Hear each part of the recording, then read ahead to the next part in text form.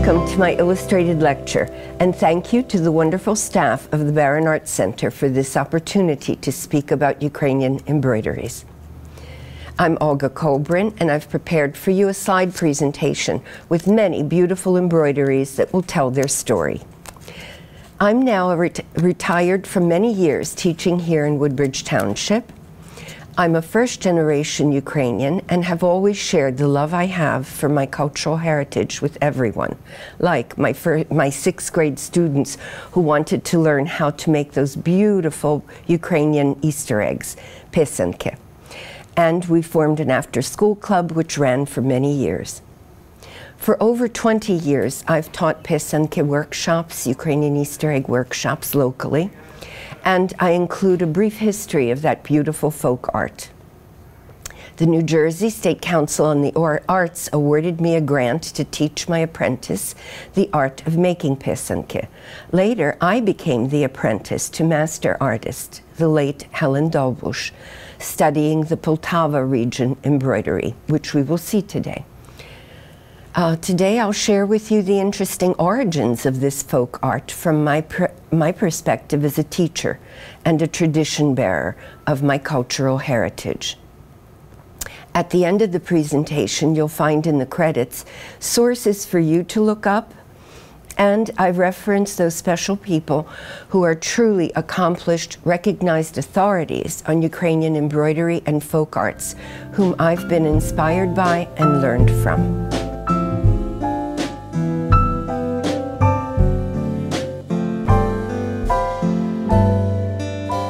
We'll begin the, uh, the art of Ukrainian embroidery. Uh, this beautiful mosaic shows uh, styles of embroideries that are typical for those particular regions of Ukraine.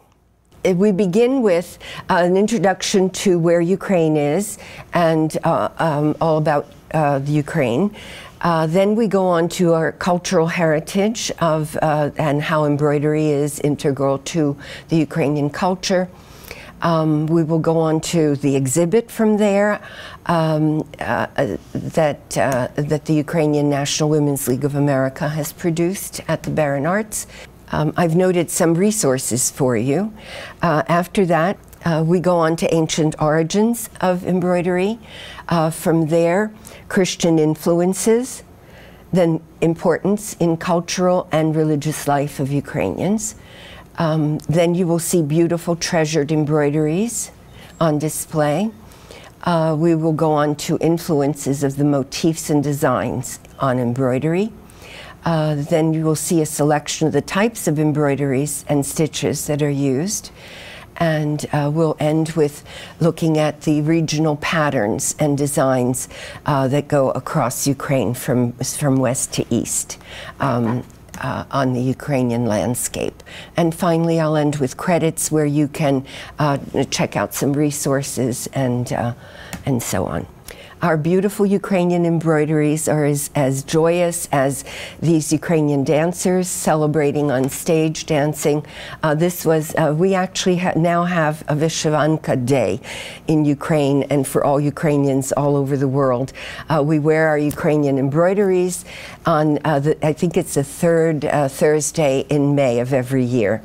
These obviously are Ukrainian dancers wearing uh, the Ukrainian national costume of a region, a particular region of Ukraine. Uh, now to our maps of Ukraine. Uh, this gives you the idea of where Ukraine is situated in Europe.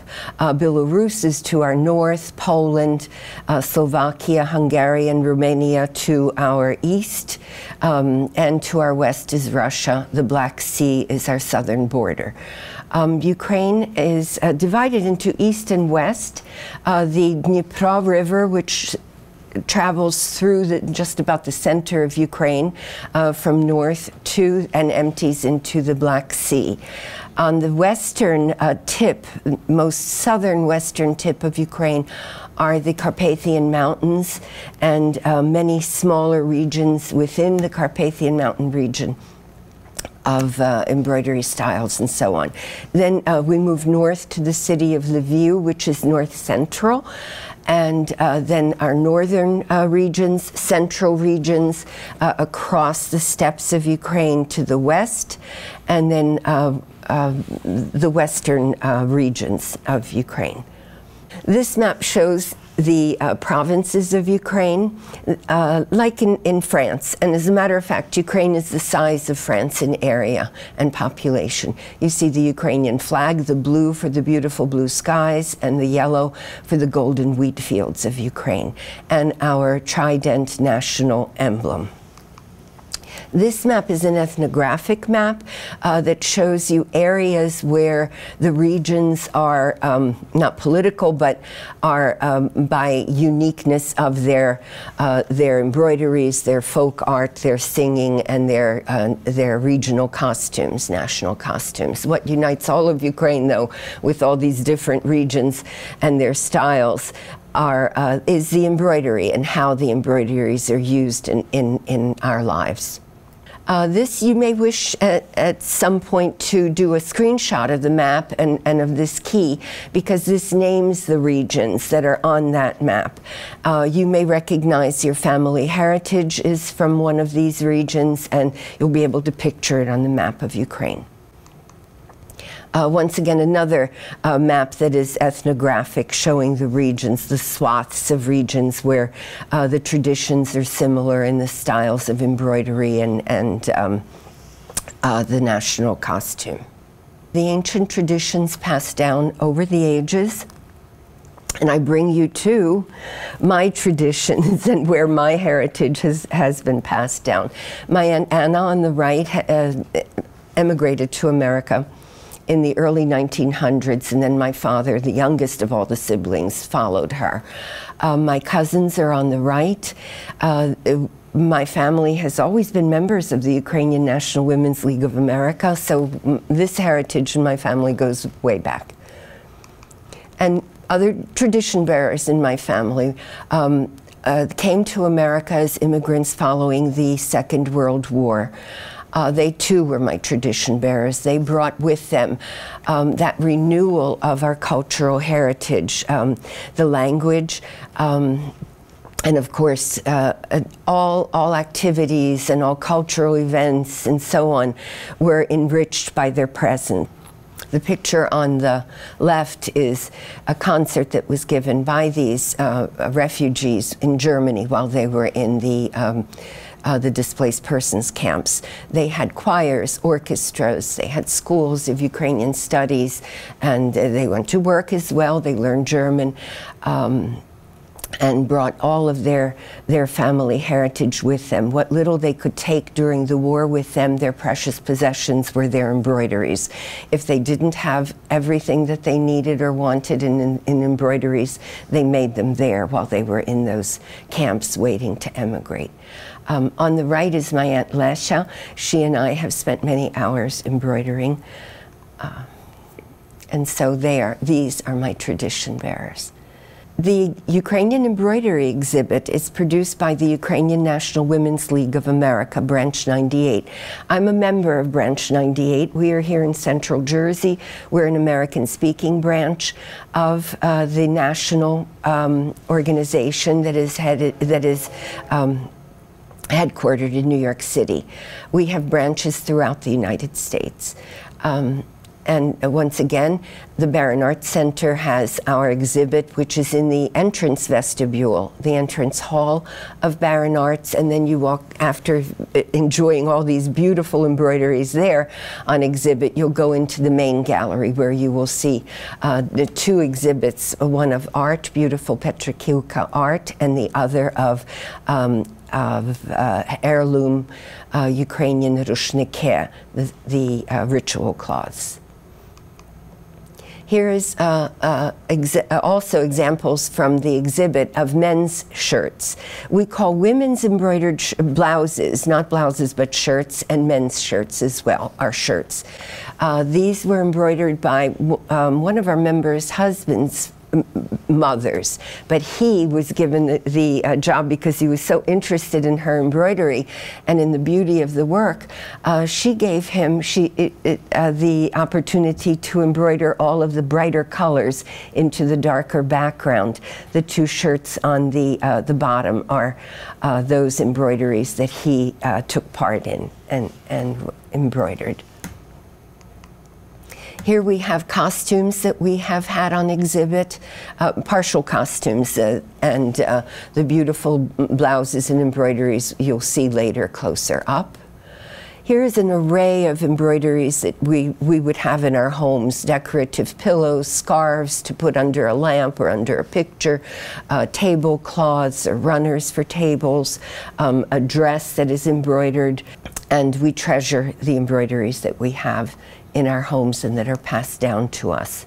Uh, these embroidered pillows at the top left are four pillows that are were the gift to Walter Kassian and his wife Luba, who is a member of Branch uh, 98.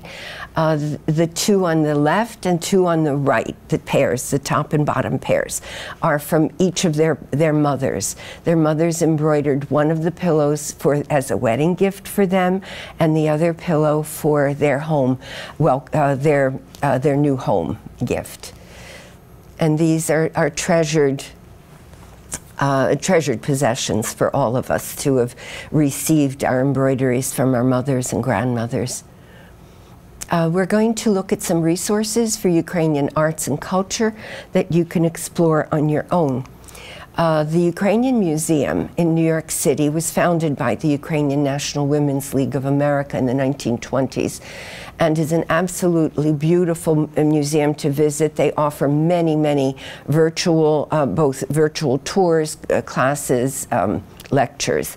So that's a wonderful source for you to refer to and uh, something that's been on exhibit. This, these are called sorochke. Uh, once again, sorochke in Ukrainian are, are what you would think of as Ukrainian blouse. Uh, these would be layered. The skirts would be layered, and the blouse part uh, is is in and of itself, um, you know, an important part of, of the Ukrainian national costume we now, for us, for our purposes, only embroider as a blouse to wear because we no longer would wear the shirt traditionally the way it is here. Another gem here in New Jersey is the Ukrainian History and Education Center in Somerset, uh, New Jersey. Uh, also, take advantage of all the many things that they have virtually online that you can log into and enjoy. Now we come to the ancient origins of Ukrainian folk arts and customs. Ancient rituals and symbols were talismanic.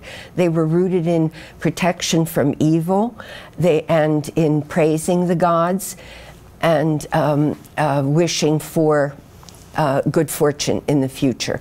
So uh, the, it, within the Ukrainian embroidery patterns and motifs are, are those motifs that had uh, ancient meaning and have been passed down to us. Uh, we know that the Greek historian Herodotus, uh, 425 BC, in his writings, in his descriptions of the Scythian culture, confirms the origin of the ancient artifacts that have been excavated in Ukraine. Um, many of them in the 15th and 16th centuries, and many others since then, too.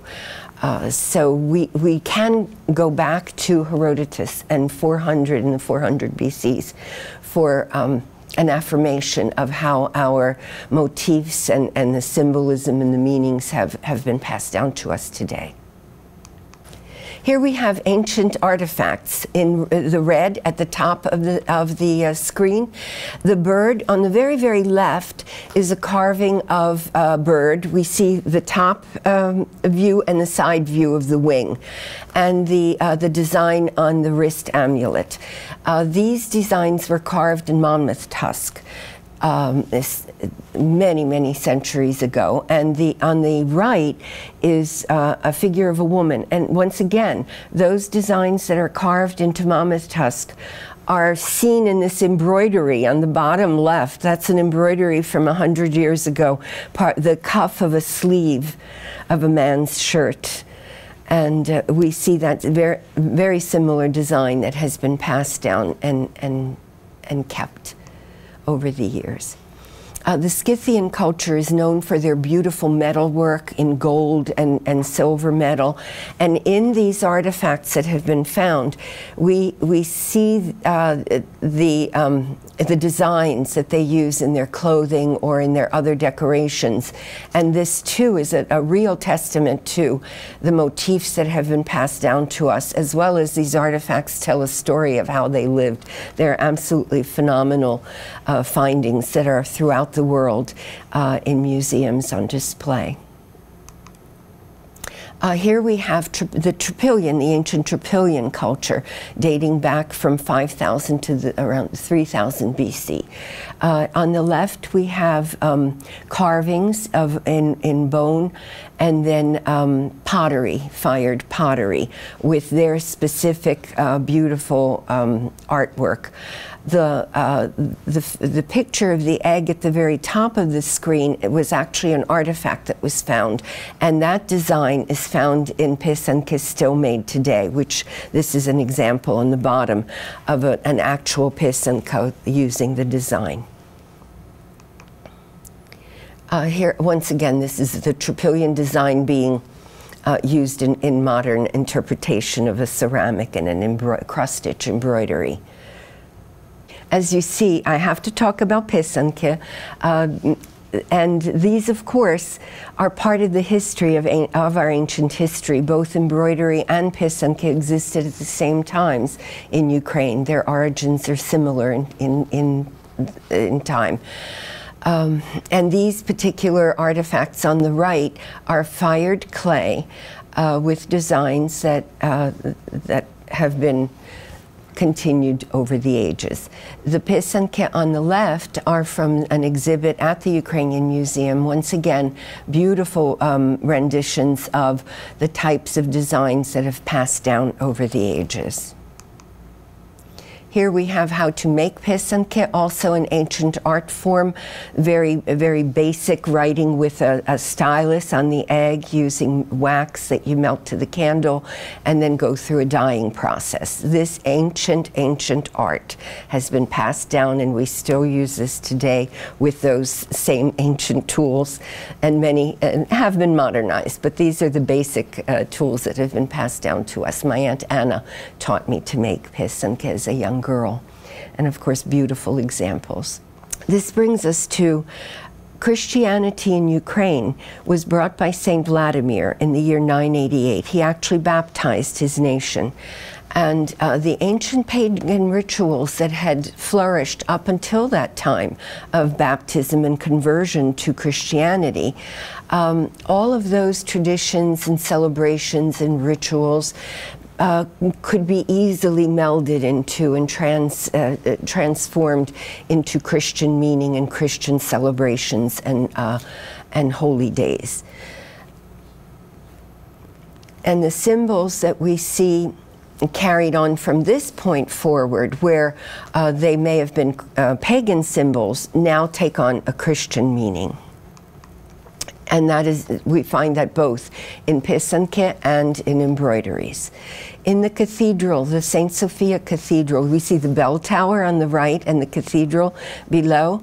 Um, uh, in Kyiv, we have uh, interior evidence of all the beautiful mosaics and all the beautiful frescoes that still exist show testimony to uh, the embroidery motifs uh, throughout uh, that confirm how they have been passed down from those times through today.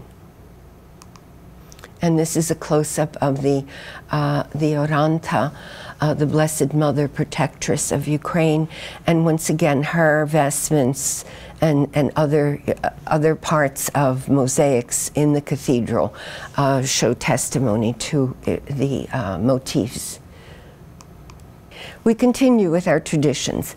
i am going to show you beautiful folk scenes of old Ukraine the, uh, captured in the centuries-old Ukrainian art of painting in reverse on glass.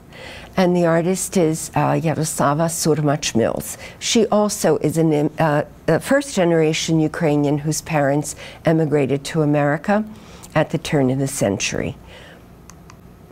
Uh, here we have uh, the, the tradition of sitting and, and making pesanke before Easter. During Lent, before Easter, we make pesanke in order to have them uh, for our Easter celebrations. In the background, you see icons draped and adorned with beautiful embroidered rushnike, or ritual cloths. And of course, the, the young girls' shirts are embroidered. And we have a woven table covering. Here's another scene of a family at Easter blessing of food. All the food is brought in a basket covered with a beautiful embroidery and then blessed uh, Easter morning and then enjoyed on the lawn of the church, followed by Easter dances to celebrate the coming of spring and the, the birth of new life and that as a pagan celebration, of course, is transformed into the Easter celebration of Christ's resurrection and new life.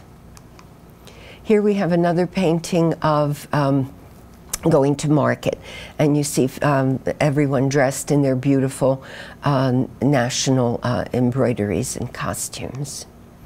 This is a nice picture, a painting of um, a wedding of the Poltava region. And if you can uh, check out all those faces, she puts in such beautiful expressions on people and children and animals. And if you look closely, I hope you can see uh, all of the uh, all of her beautiful artwork. And here too is another wedding from the Boyko region. This is a western uh, Ukrainian region where uh, the Kyiv region would be the Poltava uh, style that she she showed in the the other slide the importance of embroidery in cultural and religious life. The Ukrainian spirit is expressed in the ancient traditional embroideries. Here we have a beautiful example of the Ukrainian national folk costume. Uh, they are unique by region, but of course every one of them has the uh, embroidery and uh, that, that ties, ties this uh, tradition throughout the entire uh, uh nation. Here we have uh, the special dance of greeting, a welcome uh, dance, and um, it's performed on stage, but also the welcoming of important dignitaries, important people that are guests would be um, greeted carrying the uh, beautiful Ukrainian uh, bread on the embroidery, the rushnik, as a ceremony. Uh, this is a, a long-held tradition that we still keep today. Uh, the dancers, uh, of course, use the rushnik as part of their dance after the actual greeting to the audience. Um, and the beautiful music and the, the veneration of the beauty of our rushnike, the ceremonial cloth. Here we have an example of Ukrainian embroidery in our churches, where, um, of course, from the very beginning of Christianity in Ukraine, the embroidery of churches and ecclesiastical embroidery of uh, the um, uh, of the priest's vestments. And I only have these two small photographs. This is a church in Perth Amboy, where a small side altar, you see the embroidery at the top and at the bottom of the altar cloth. Uh, banners in church also have uh, traditional Ukrainian embroidery. Uh, here we have um, a picture of a certain, a very uh, a particular style of uh, embroidery and weaving of rushnike from the central part of Ukraine. Um, uh, once again, ceremonial, ritual, and ornamental purposes are, are, are um, in use for our rushnike. They can be embroidered or they could be woven. And I'll speak about this particular style of embroidery later returning to the Rushnike, Rushnike like these and many, many other beautiful examples are actually on exhibit at the Barron Arts Center uh, July 1st through August 27th of 2021. Uh, you will be absolutely amazed when you walk into the gallery the beauty of this artwork. Here we have in our homes, we, we adorn our religious icons with the rushnik. And these are samples of embroidered rushnike that we would use both at home or in ceremonial use. Here we see an example of a wedding rushnik. Uh, the, the rushnik in a wedding ceremony is used in many different contexts. The hands of the bride and groom during the, uh, the ceremony are tied with a rushnik that is a precious gift from, uh, the, uh, from the family uh, to the bride and groom. Uh, they kneel or stand on the rushnik during their wedding vows. the, the rushnik is carried with icons into the church uh, as they process uh, to take their vows. And um, there are different symbols that are used on the rushnik for weddings. This one in particular has uh, the flowers that are typical for a wedding, signifying love and devotion. On this rushnik, we have the peacocks, which also symbolize fertility and uh, good fortune for the, for the bride and groom. This is an example of how even today we have the traditional wedding bread decorated uh, and held on the rushnik and uh, it will be uh, presented to the bride and groom, the married, the young married couple when they come into the reception and they will be greeted by the staroste, the elders that were chosen by the bride and groom to greet them and, and as their first greeting as husband and wife to the community uh, at the reception. So you see the, the um, the wedding bread and the beautiful rushnik that was made specifically for the bride and groom. And here, actually, this is uh, my late husband and I at my son's wedding and his staroste and there, there is my son and there are my son and daughter-in-law uh, being greeted at their wedding reception as husband and wife. And the beautiful tradition of both the wedding bread, which is shared with uh, the, the guests at the end of the wedding, and the beautiful rushnik. Embroidery is the most practiced of Ukrainian folk arts. Its beautiful and varied motifs are reflected in, in our pisanke, the gerdane, wood carving, wood inlay, ceramics, and weaving ta and tapestries. Here I have a, a collection of pisanke which were done in each of these you know, different styles of folk arts uh, from throughout Ukraine. On the very left is a, a ceramic pisanka done in a hutzul style. Uh, moving to the right from the ceramic uh, we have um, a hand uh, carved and inlaid wood pisanka. Then we have a wood carved and painted. Once again, all of these are folk arts uh, throughout uh, in Ukraine. And then the next pisanka is the Petrikivka art, which is hand painted on a wooden egg. And we also have beautiful um, Petrikivka art um, paintings hanging in the gallery at Barron Arts along with the Rushnike exhibit uh, that's presently there. Then the, the, the egg on the very right is hand painted. Then the egg in the center is actually etched. So that brings us to this, uh, let's say this century of art because this is a new, new form of making pisanke by etching the egg in, in several stages, uh, starting with a brown egg. And then as it's etched in a solution, uh, the, the, uh, the, egg surface uh, washes away, and then the whiteness uh, gives you the background. And once again, all of those uh, beautiful um, traditional embroidery and uh, motifs are carried on. Here we have the Trypillian style of art, both in a pisanka you see on the left, and then uh, ceramic and embroidery. Here we see uh, the wood carving, the, the, different styles of wood carving.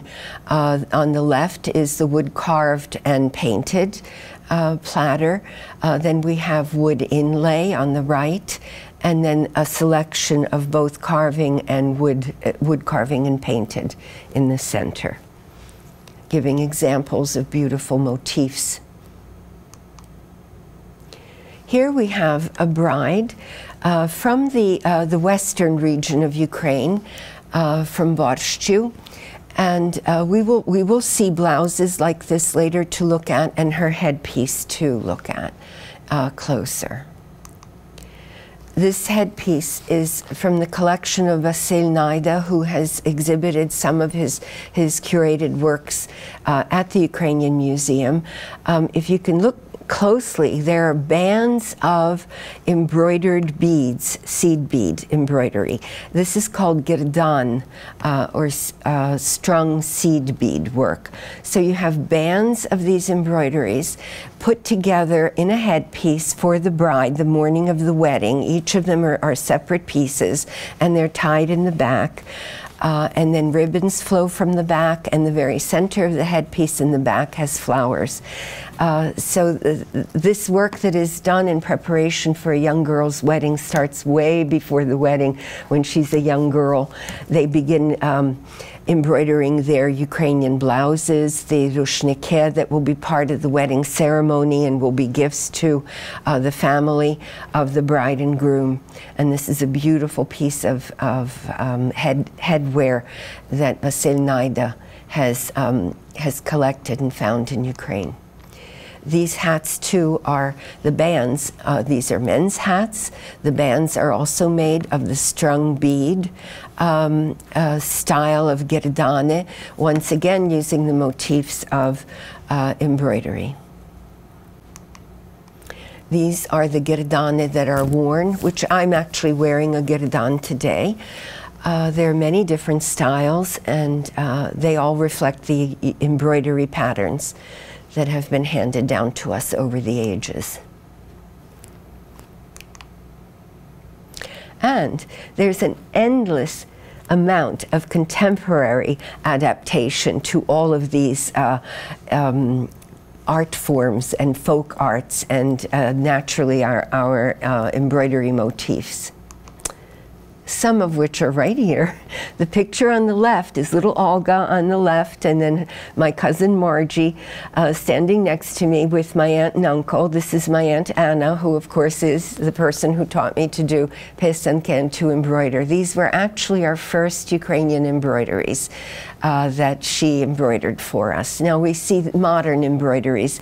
Uh, uh, once again, they're not, uh, they are typical Ukrainian embroideries, but obviously uh, artistically created uh, for um, modern styles of dress and vary from evening wear to suits and, and casual wear today. And once again, we're going to look at treasured embroideries. And I couldn't help but put up these beautiful dancers in their national folk costumes.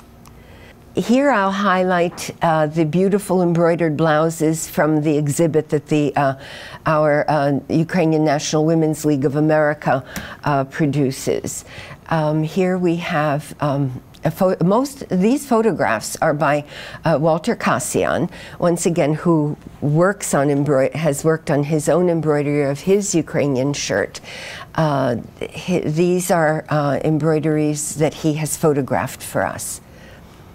Beautiful sleeve, and uh, this, the sleeve on a Ukrainian women, woman's shirt can have three, uh, three parts to the embroidery.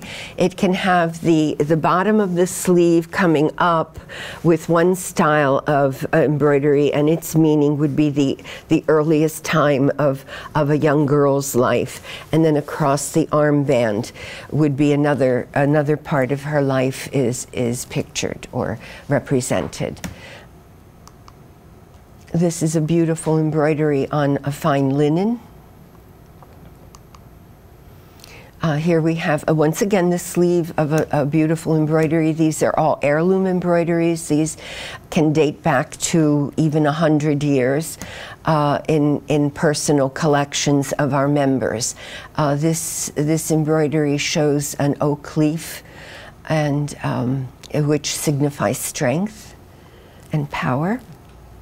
These two beautiful Ukrainian uh, women's shirts are uh, the, where you can see uh, the sleeve and the front of the shirt.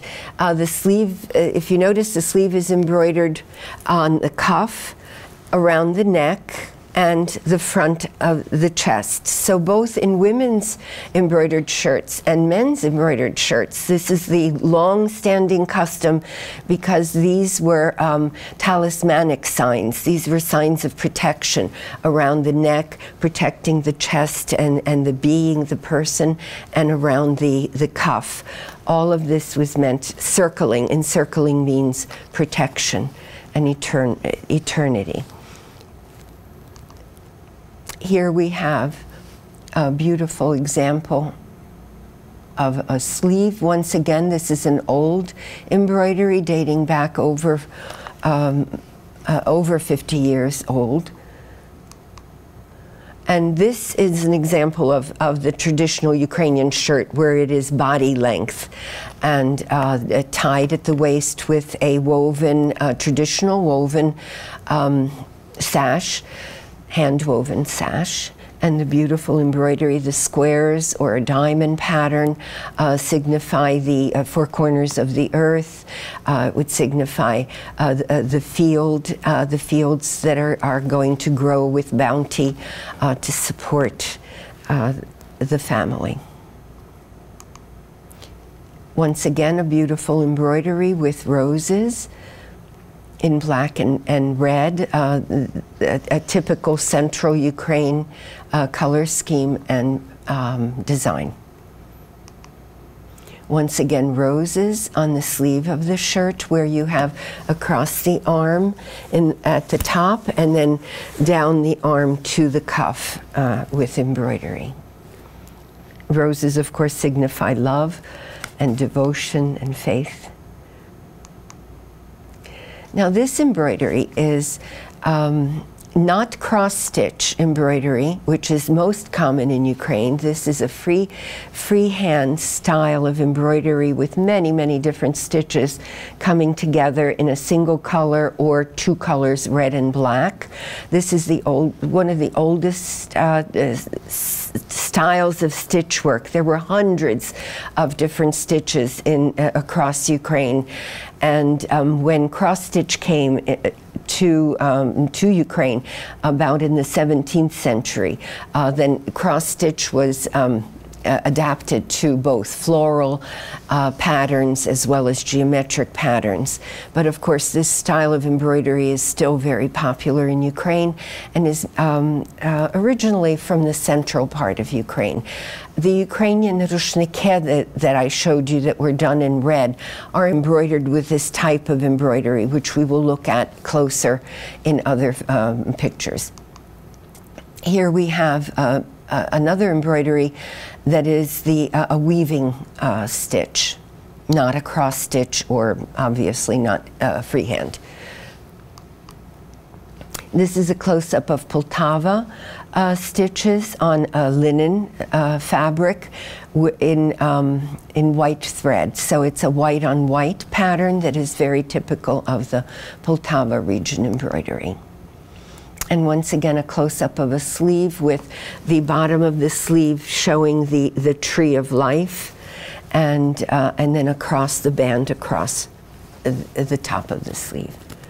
This is a beautiful example of many Ukrainian blouses. You see the sleeves from the Borshchiv uh, area. This is the, the same um, embroidery style of the wedding of the bride that I showed you earlier. And these are pictures from the Ukrainian Museum exhibit.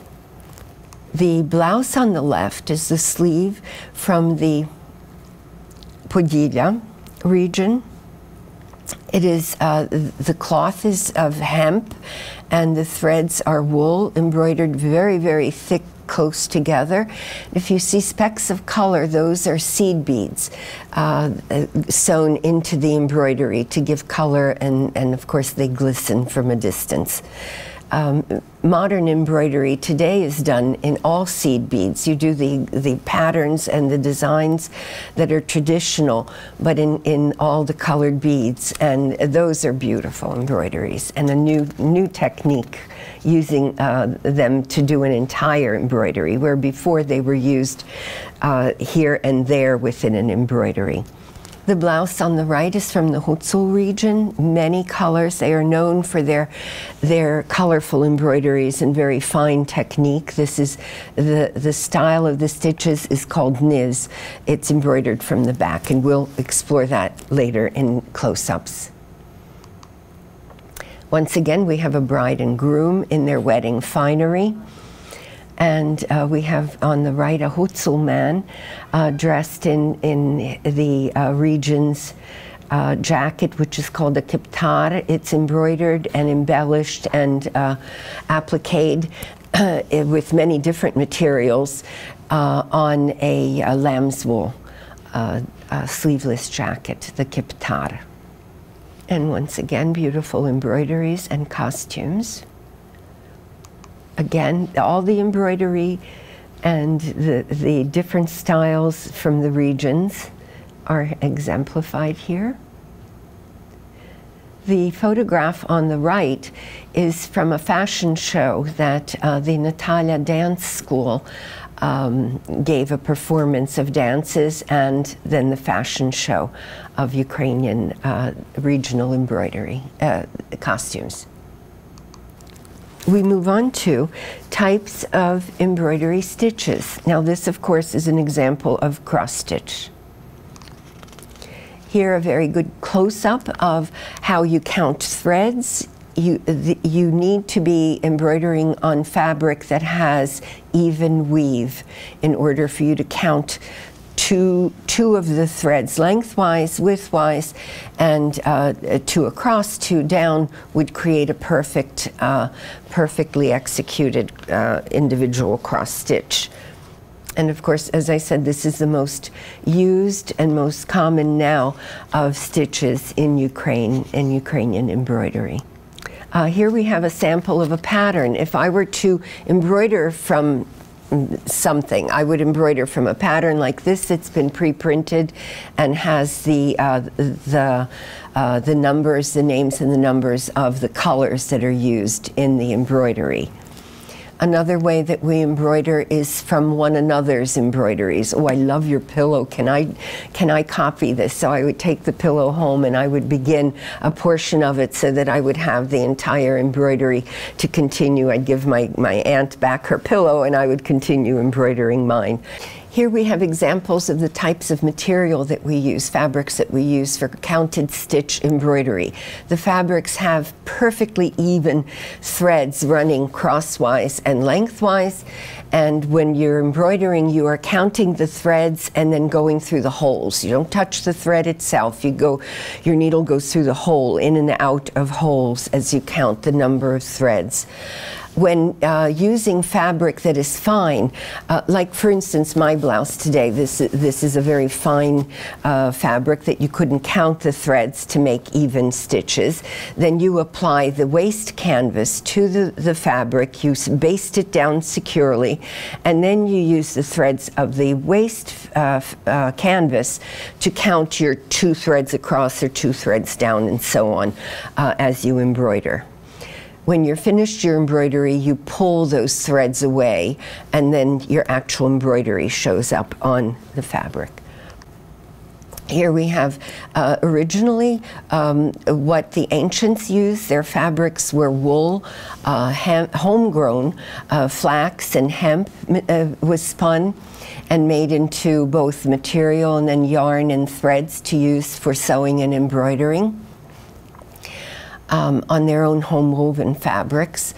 Um, bleaching, originally they, they also bleached either the fabric or the threads or both, whichever they wanted, so that uh, early uh, embroidery, uh, uh if they didn't have any type of dyeing technique, they were embroidering white on white or a bleached thread on a, a non-bleached fabric, which would give you some contrast. And we still call that white on white. And that is uh, very popular in the Poltava region embroideries. And as natural sources were discovered in order to dye fabric and threads, these of course increased over time as to the, the designs and the, the variation and inclusion of many colors, the threads in their embroidery work. Gold and silver threads were used. Uh, we know that from the excavations that have been done in, in Kiev and uh, the uh, fabrics that were uncovered in sarcophaguses. Uh, they used um, gold and silver threads that were laid on the fabric and then uh, embroidered over to secure them to the fabric.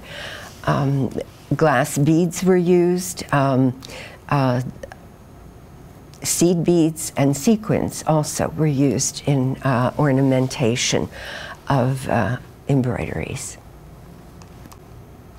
Here we have the example of how we apply the um, the waste canvas. This is uh, a little uh, a child's little dress, and the yoke. I embroidered the yoke with a, a simple design. And uh, once I finish my embroidery, I take the basting out, and then I start tugging on lengthwise and crosswise threads and pull them out from under the embroidery. And the whole point of when you're doing this embroidery, you cannot catch the waste canvas because then you won't be able to pull it out. It comes out from under the cross stitching that you embroidered. Now, time intensive. As I said, this is the blouse that I'm wearing today uh, was made for me in Ukraine when I came to visit my cousins. They they spent three months embroidering. She, uh, my cousin Daria, embroidered this uh, before I came, and she was still embroidering when I was there. They finished sewing it the last day, sewing it together. Her sister-in-law sewed the blouse um, the day that we were leaving, and I, I, have cherished it ever since. But uh, imagine the work that went into the, the the, um, embroidering on waste canvas is more difficult than embroidering on material that you see clearly see the threads and, and the spaces that you, you put your needle through. So this was really a, a labor of love. The Poltava region, uh, th these are several samples of uh, the different types of embroideries of the Poltava region stitches. They use a satin stitch we call lishtva, cut work, is vyrizowania. Uh, we have the satin stitch, which secures the cut work. Also, they use that to embroider that together. Uh, drawn needlework is stiahovania, and then we have uh, merezhka, which is cut and drawn. And now we'll see close-ups of these in these stitches. Um, I'll take you first to the right hand side. If you look at the corner right hand, top right hand, we see step one. This is where you use the, uh, the overcast uh, stitch um, to secure the outline of the design. If you go down to step two, which is the lower right, of the blue embroidery, you will see that there are uh, threads that have actually been cut out. They can be cut out because the blue embroidery has already secured the rest of the fabric. And then we go on to step three, which is in the very, very center of this blue embroidery. Um, the darkest blue embroidery is where you create the pattern in cut work. Um, uh, uh, you go over the threads that are left and create designs uh, around those threads and inside the spaces that are left as well. On the left-hand side, we have, and once again, these are Poltava region, uh, very specialized embroidery stitches that they are famous for. Uh, cut and drawn work, Merezhka, is at the very, very top of the um, the left-hand side, and you'll see that there are two threads kind of dangling. So what you do is you pick them up and pull them out, and you release that area of threads. Then you use the crosswise stitches to gather, you know, uh, uh, to the remaining stitches to gather, and use many different types of stitches to pull and create a design, uh, some of which you can see at the bottom of, of that left-hand sample absolutely beautiful work and um, very exacting. Here we have more examples of cut work at the top and at the bottom is the merezhka. If you look at a large piece of merezhka, you might think that it's lace, but Ukrainians don't make lace. We, we do the merezhka and, and it can look as beautiful and fine as lace does. And here we have master artist, um, the late uh, Helen Dobush, with whom I had uh, my apprenticeship with in Poltava region embroidery. And um, it was a privilege and a pleasure to work with her. She was delightful.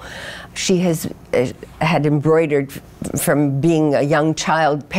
She was too young to learn to embroider, everyone told her. When the women would get together to embroider in the evenings, uh, the children would be running around watching, and the older girls would start, they would be taught to embroider. And she wanted to be taught to embroider, and no one would, would take the time because she was too young. She's too young. You have to wait, wait till you're older.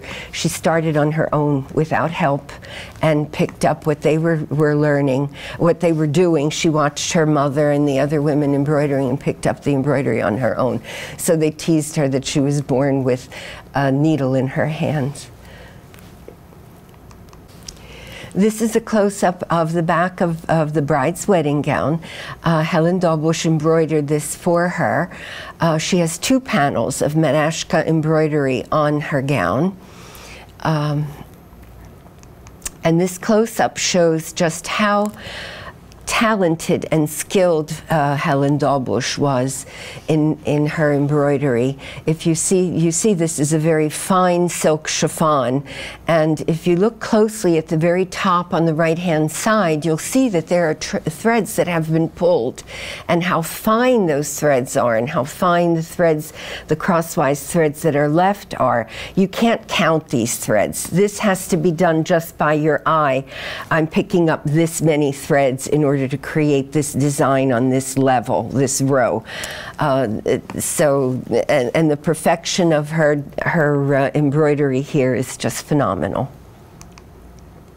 This she embroidered for her grand, her daughter, uh, for baptism and used for her grandchildren for baptism. This is cut and drawn work. Here is her a collection of her embroidered pillows in her living room. If you notice, uh, the two pillows on the left have a blue background and a red background. That's not red embroidery or blue embroidery. It is white on white embroidery with cut work. So all the cut work shows uh, is the opening that shows the pillow uh, case that is either red or blue underneath it. And so you get the contrast of colors and the beauty of the cut work is uh, uh, emphasized by whatever background uh, material is under it. Uh, we have another pillow of, of Helen Dobush's uh, in the, the the uh, Poltava style. Here we see the dyed threads already uh, coming to be. They used ash to create uh, a gray dye and a very uh, fine uh, light gray and uh, the blue dye. So we see the embroidery of the satin stitch, the lishtva, and then we also see the cut work in white in this particular embroidery. Here we have silk threads on a fine fabric. Um, your threads will usually be thicker than the material that you're embroidering on. Uh, here we have, in, in this embroidery, we have merezhka in the bands going horizontally at the top, the center, and the bottom. Uh, we have the cut work where you can see the blue background showing through, and then we have the lishtva, the satin stitch, creating that beautiful design that the light bounces off of the threads that are, are are embroidered in different um, uh, in different ways. So they're either crosswise or lengthwise or horizontal, and then it gives you that sheen and and depth to that design. Here we have um, uh, cotton uh, threads embroidered on uh, um, uh, also a, a light uh, color fabric, white on white. Uh, we have little um, nightingale's eyes, is what we call eyelets in Ukrainian.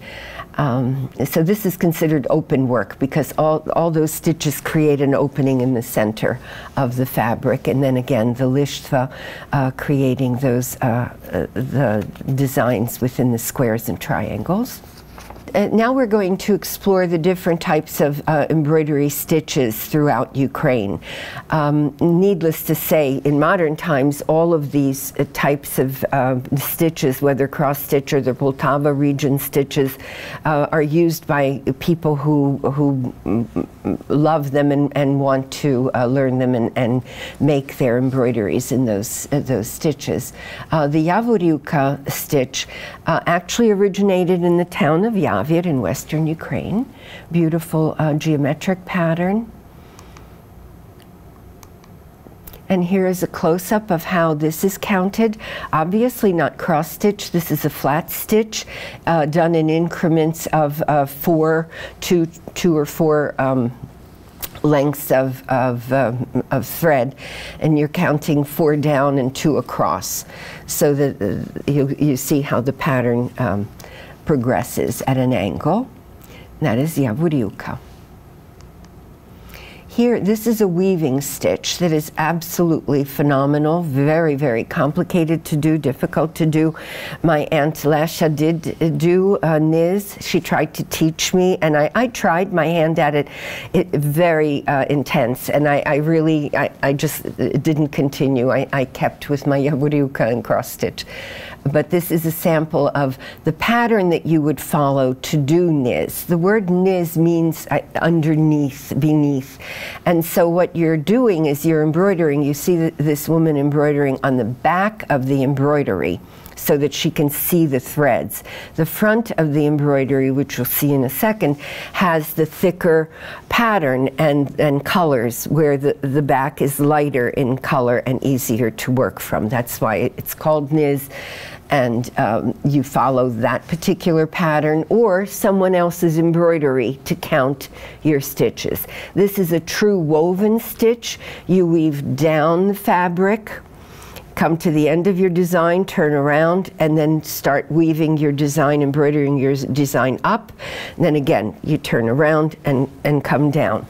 So this is a true woven um, style of stitch and here is a completed. This is embroidered from the wrong, you see it, it's been embroidered from the wrong side and the top is the example of the wrong side of the embroidered piece. At the bottom is your sample of Niz, the finished right side that you're looking at. Now it's beautiful just as it is. You see the richness of the design and how, how uh, heavier the design is than, than the right the wrong side where you can count the stitches and see the threads uh, as you're working. Now this is beautiful as it is, or, and of course when you do more uh, detailed work, then you add color to the spaces. And in some cases there is no white showing through, it is all in beautiful colored uh, threads and design. And here I'm showing you more, more of uh, embroideries in the style of Niz stitches. Uh, it is a solid stitch embroidered from the back. It is a counted stitch. Beautiful from front and back. The more expert you are in embroidering, you will not see where one length of thread ends and then you have to rethread and start another uh, thread.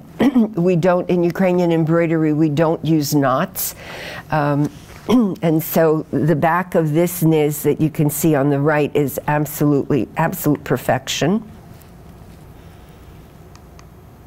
Uh, again, more samples of niz, nizinka. We also call this nizinka. Um, the yellow and the green at the bottom uh, is braided stitch. And here we have the back. At the very top, you'll see the back and uh, the front of uh, zavertany niz, which is an even finer uh, style of niz embroidery, must be done from the back again. And you see the, the depth of color and the intensity of, of the design is, is just unbelievable.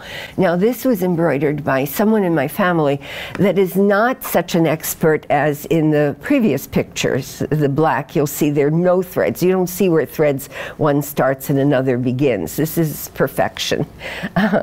now, um, this is the back of this is still beautiful, but obviously the front is spectacular.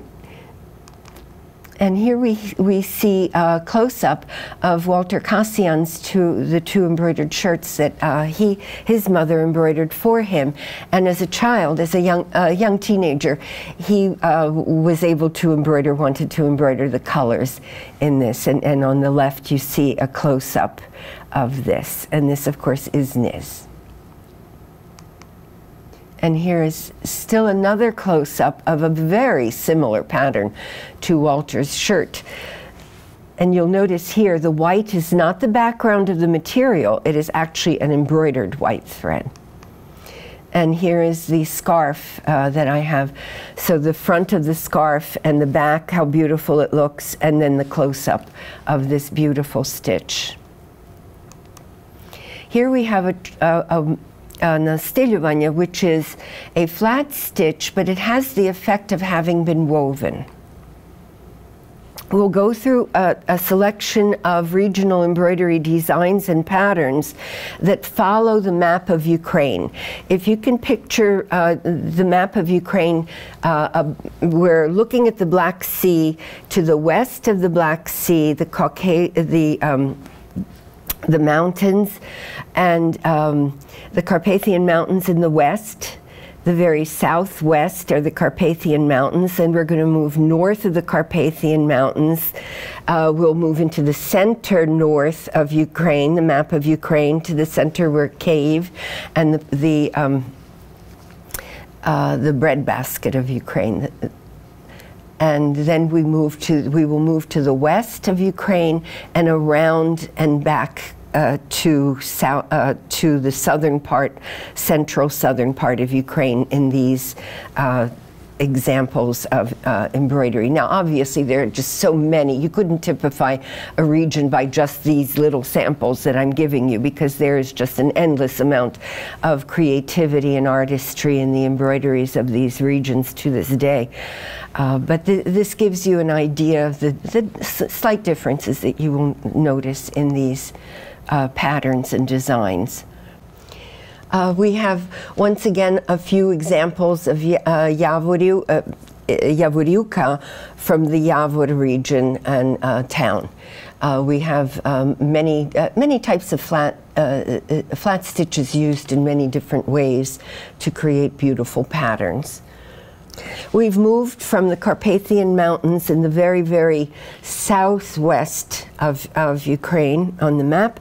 We moved upwards, uh, above, north of the Carpathian Mountains, and now we're in Volyn, which is central Ukraine but still east. We're moving eastward into uh, uh, center east of Ukraine, and that would be Volyn. Beautiful embroideries examples of beautiful embroidery from Podillia, which is central Ukraine, um, still on the east, the eastern half of Ukraine. And as we move to the west, we're getting into the Poltava region. Kyiv, our capital of Kyiv, Poltava, and their beautiful embroideries. And once again, uh, we are still in the uh, Poltava region, central, uh, upwards north, central uh, part of Ukraine, getting closer to the west, to actually the western part of Ukraine. Um, these are, uh, once again, on the left is an example of a rushnyk uh, embroidered in red. And uh, obviously, we have a beautiful close up of the red embroidery and all the different styles of stitches that they used so creatively in order to give depth and, and uh, uh, um, detail to the embroidery being that it's done in only one color. Now, there are reasons why the, the red thread was used. First, it was the first dye that was available. Uh, they used black, they used red, and then other colors came into being. Uh, but another reason to use the red thread is for those people who couldn't afford beautiful colors once colored threads were available to purchase. Um, those people were too poor to buy those threads in color, and they continued and uh, embroidered in, in all one color in red in all those beautiful st uh, styles, types of stitch work. This brings us to the Donetsk uh, region, which is western Ukraine in the uh, the south, southwestern Ukraine, Donetsk, and we, we swing around uh, the lower part, the southern part of Ukraine, will take us to the um, Zaporizhia. Uh, and if you can picture the Black Sea, the Crimean Peninsula, this would be north of the border of the Black Sea on, in Ukraine. And this is Zaporizhia, again, uh, beautiful florals, uh, red and black, typical for that region of embroidery. The region of Kherson brings us to the end of our, our picture uh, uh, trip across Ukraine. Uh, Kherson is the southernmost uh, uh ethnographical region of uh, Ukraine on the southern border with the Black Sea. And so we end this lecture with these beautiful photographs of, of uh, Ukrainian embroidery. I hope that you love the embroidery of Ukraine and that you've discovered new things and possibly even something of your own heritage. Uh, maybe you'll be interested in even embroidering, doing Ukrainian embroidery. Uh, be sure to view uh, what Barron Arts Center has uh, on virtual, the virtual exhibits, our Ukrainian embroideries of, of, the Ukrainian National Women's League of America, and the gallery exhibits of uh, Ukrainian art and Ukrainian antique and heirloom uh, beautiful rushnyky. Um, thank you very much for your attention. And we, I do have one more thing I want to share with you. Uh, we will go on to the uh, credits and information that might be helpful to you my inspiration for doing research in Ukrainian embroidery and uh, um, applying for the grant with master artist, the late uh, Helen Dobush, would be listed in the credits. Uh, Lubow Wolynetz, who is curator of folk art at the Ukrainian Museum in New York City. I have seen her work and been to her lectures and classes myself and, and have been uh, very inspired by her uh, Vera Nakonechny of Philadelphia. She is a many award-winning uh, an embroidery and textile artist and curator uh, who inspires my my research and my work. Uh, Vasil Naida, who is a curator of beautiful heirloom uh, headwear and weavings that, that I showed you a bit of. Um, he, he is a young man who is is a collector, curator of works from Western uh, Ukraine, uh, and researcher. The photos in my exhibit, uh, beautiful photos of all the embroideries in our exhibit, are by Walter Kassian, and I've utilized Ihor Chmola both for, for his map and uh, for the embroidery photographs. His book is Beauty of Ukrainian Embroidery, uh, and the other books, Ukrainian Embroidery by Kmit, uh, Ukrainian Folk Costume, um, um, uh, printed by the World Federation of Ukrainian Women's Organizations.